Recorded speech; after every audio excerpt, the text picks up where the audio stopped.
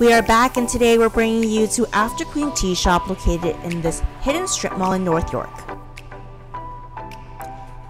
The interior is decked out with many different teacups and tea plates, each with very unique designs.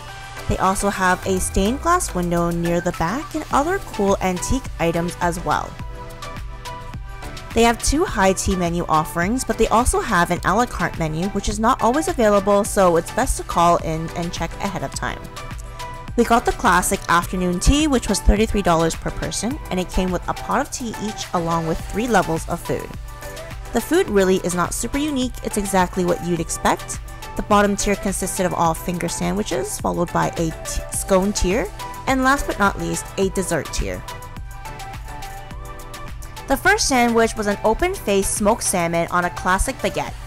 We also had the cucumber and cream cheese sandwich and the cucumber was very very thin as you can see here. The egg salad sandwich was tasty and so was the open-faced tuna sandwich on a baguette. For our vegan friends, don't worry, they also have options for you too.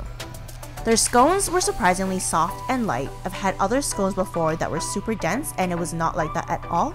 The scones came with butter and strawberry jam. The top tier came with a strawberry cheesecake, a blueberry tart, vanilla bean cupcake, and last but not least, a vanilla bean macaron. These items were not too surprising and tasted like what you would get at your local grocery store. Overall, it was a fun and cute experience and I do recommend it if you've never been to high tea before.